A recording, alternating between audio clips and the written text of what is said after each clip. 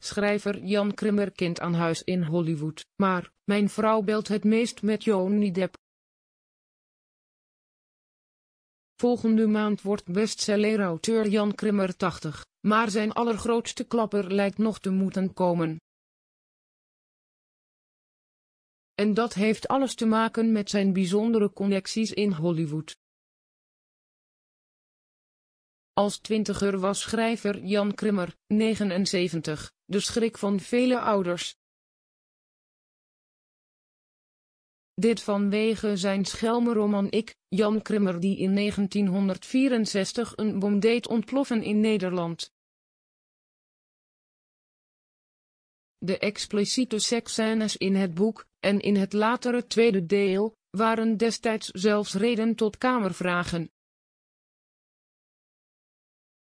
Collega-auteurs verguisden Jan om zijn werk, maar mochten vervolgens knarsetanden toezien hoe de verkoop van zijn boeken tot recordhoogte reikte.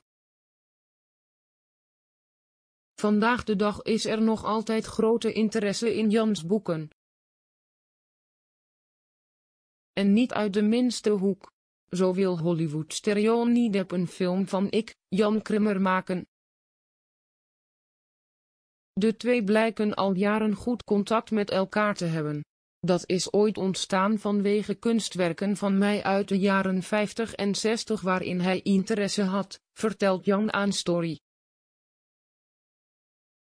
Daarna kwam ook nog de interesse in het verfilmen van het boek en uiteindelijk is er een goed contact tussen ons ontstaan. En we bellen nog steeds geregeld. Het is een heel aardige jongen. Overigens belt mijn vrouw Babette het meest van ons tweeën met hem. Apostrof.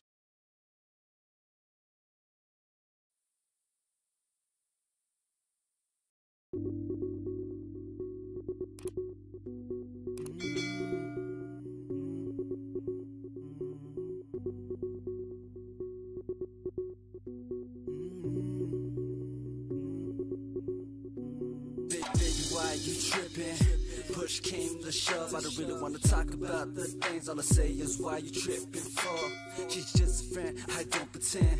Mannequins, I'm a real man. I got soul, no Pinocchio. Girl, I'm not deceiving. I told you, girl, I'm not lying.